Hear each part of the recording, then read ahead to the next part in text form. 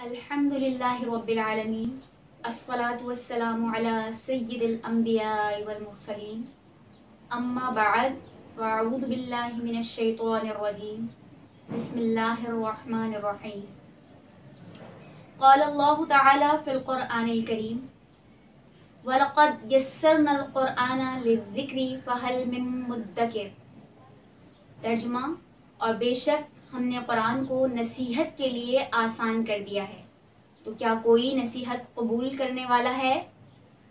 قرآن مجید دین اسلام اور شریعت محمدی کی اساس اور برہان ہے۔ اس میں اللہ تعالیٰ کی ذات اور صفات پر دلائل ہیں۔ انبیاء سابقین اور سیدنا محمد صلی اللہ علیہ وسلم کی نبوت، رسالت اور ان کی عظمتوں کا بیان ہے۔ حلال اور حرام عبادات و معاملات، آداب و اخلاق کے جملہ احکام کا بیان ہے۔ معاد جسمانی، حشر، نشر، جنت اور دوزخ کا تفصیل سے ذکر ہے۔ اور انسان کی ہدایت کے لیے جس قدر امور کی ضرورت ہو سکتی ہے، ان سب کا قرآن مجید میں بیان ہے۔ قرآن مجید اللہ تعالیٰ کا معجز کلام ہے۔ قرآن مجید میں قرآن مجید کے پانچ اسما ذکر کیے گئے ہیں۔ قرآن، فرقان، کتاب، ذکر اور نور۔ قرآن مجید میں القرآن کا ذکر دس مرتبہ آیا ہے۔ دو مرتبہ لفظ قرآن ہو بطور مزدر ذکر کیا گیا ہے۔ دس مرتبہ لفظ قرآن ذکر کیا گیا ہے۔ قرآن کا لفظ قرت سے ماخوذ ہے، جس کا معنی ہے پڑھنا۔ اور چونکہ اس کو بہت زیادہ پڑھا جاتا ہے، اس لیے اس کو قرآن کہتے ہیں۔ قرآن کریم کے فضائل اور اجر و ثواب کے بارے میں بکثرت احادیث کریمہ موجود ہیں۔ حضرت عثمان بن عفان رضی اللہ تعالیٰ عنہ سے روایت ہے کہ آقا کریم صلی اللہ علیہ وسلم نے ارشاد فرمایا، خیرکم من تعلم القرآن وعلمہ تم میں سے بہترین شخص وہ ہے جو قرآن سیکھے اور سکھائے۔ امام ترمیزی روایت کرتے ہیں، حضرت علی رضی اللہ تعالی عنہ بیان کرتے ہیں کہ میں نے رسول اللہ صلی اللہ علیہ وسلم کو یہ فرماتے ہوئے سنا ہے کہ سنو، ان قریب فتنے برپا ہوں گے۔ میں نے عرض کیا، یا رسول اللہ صلی اللہ علیہ وسلم، ان فتنوں سے نکلنے کی کیا صورت ہے؟ آپ نے فرمایا، کتاب اللہ۔ اس میں تم سے پہلے اور تمہارے بعد والوں کے لیے پیشن گوئیاں ہیں۔ اور یہ تمہارے درمیان حکم ہے۔ یہ حق اور باطل کے درمیان فیصل ہے۔ بے فائدہ نہیں ہے۔ جس متکبر نے اس کو ترک کر دیا، اللہ اس کو ہلاک کر دے گا۔ جس نے اس کے علاوہ کسی اور چیز میں ہدایت کو تلاش کیا، اللہ تعالیٰ اس کو گمراہی میں رہنے دے گا۔ یہ اللہ تعالیٰ کی مضبوط رسی ہے۔ یہ نصیحت ہے۔ یہ سرات مستقیم ہے۔ اس کی وجہ سے خواہشات میں کجی نہیں آئے گی۔ کسی زبان کا کلام اس کے مشابہ نہیں ہو سکتا۔ علماء اس سے کبھی سیر نہیں ہوں گے۔ بار بار پڑھنے کے باوجود اس سے اکتاہٹ نہیں ہوگی۔ اس کے اسرار کبھی ختم نہیں ہوں گے۔ جنہوں نے جب اس کو سنا تو اس پر ایمان لانے میں بالکل توقف نہیں کیا اور بے ساختہ کہا، بے شک ہم نے حیرت انگیز کلام سنا جو سرات مستقیم کی طرف ہدایت دیتا ہے۔ ہم اس پر ایمان لائے۔ جس نے اس کے متعلق کہا، اس نے سچ کہا۔ جس نے اس پر عمل کیا، اس کو عذر دیا گیا۔ جس نے اس کے مطابق حکم کیا، اس نے عدل کیا۔ جس نے اس کی دعوت دی، وہ سرات مستقیم پر ہدایت یافتہ ہے۔ حضرت عبداللہ بن مسعود رضی اللہ تعالیٰ عنہ نے فرمایا، جو شخص یہ پسند کرتا ہو کہ اس سے اللہ اور اس کا رسول محبت کرے، وہ غور کرے، اگر وہ قرآن سے محبت کرتا ہے، تو وہ اللہ اور اس کے رسول سے محبت کرتا ہے۔ حضرت ابو حریرہ رضی اللہ تعالیٰ عنہ سے مروی ہے کہ آقا کریم علیہ السلاۃ والسلام نے فرمایا، جو شخص طلب علم کے لیے کسی راستے پر چلا، اللہ تعالیٰ اس کے لیے جنت کا راستہ آسان کر دیتا ہے۔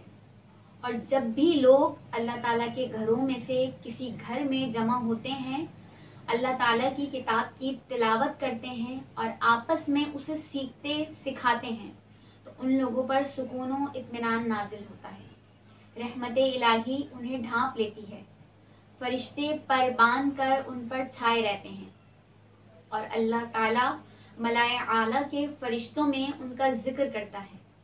اور جس شخص کے اعمال اس کو پیچھے کر دیں، اس کا نصب اسے آگے نہیں بڑھا سکتا۔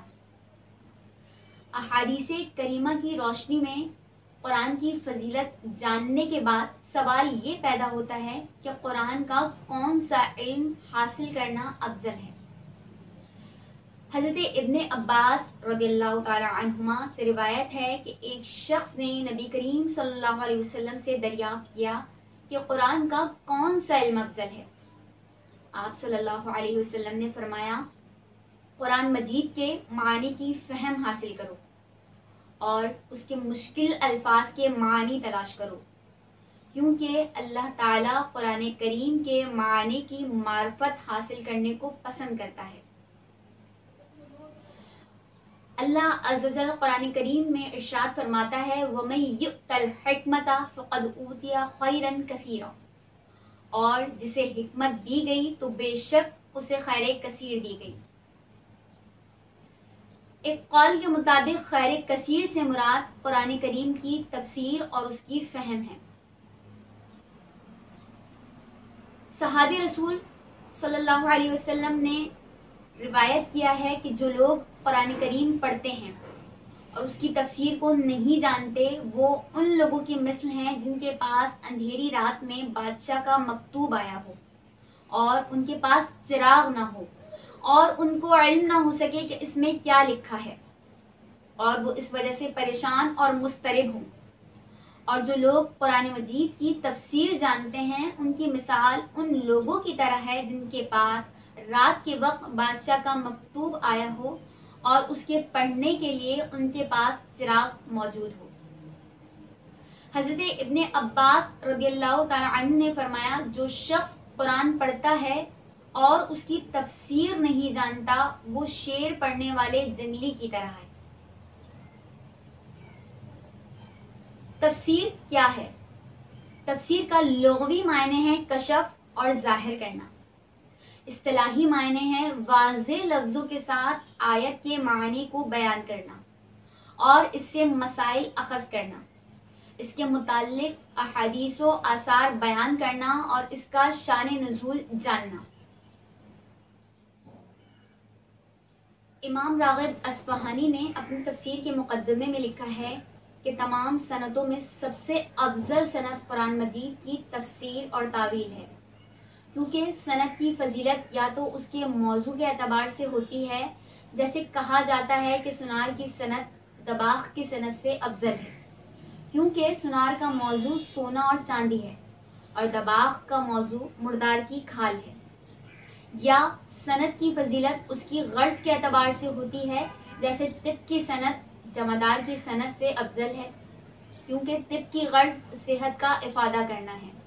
اور جمعداری کی غرض بیت الخلاء کی صفائی ہے۔ نیز صنعت کی فضیلت صورت کے اعتبار سے ہوتی ہے۔ جیسے، تلوار کی صنعت بیڑیاں بنانے کی صنعت سے افضل ہے۔ اور صنعت تفسیر ان تینوں جہاد کے اعتبار سے تمام صنعتوں سے افضل ہے۔ کیونکہ اس کا موضوع اللہ تعالیٰ کا کلام ہے، جو ہر حکمت کا منبع اور ہر صورت کا معدن ہے۔ اور اس کی صورت اللہ تعالیٰ کے مخفی اسرار کا اظہار ہے اور تدوین شریعت ہے اور یہ ہر صورت سے افضل ہے اور اس کی غرض سعادت حقیقیہ تک پہنچنا اور خیر کثیر کا حصول ہے، جو ہر غرض سے افضل ہے۔ قرآن کریم کی متعدد آیات کریمہ اور احادیث کریمہ کی روشنی میں قرآن کریم کا علم سیکھنا ہم پر لازم ہو جاتا ہے۔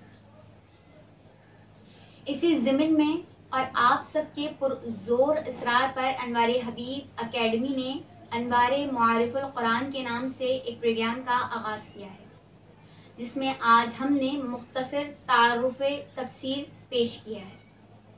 اس سلسلے کے اگلے پروگرام میں انشاءاللہ ہم قرآن کریم کا لفظی و با محاورہ ترجمہ و تفسیر سیکھ سکیں گے۔ امید کی جاتی ہے کہ گھروں میں رہنے والی ہماری مائیں بہنیں اس پروگرام سے ضرور بے ضرور استفادہ حاصل کر سکیں گی۔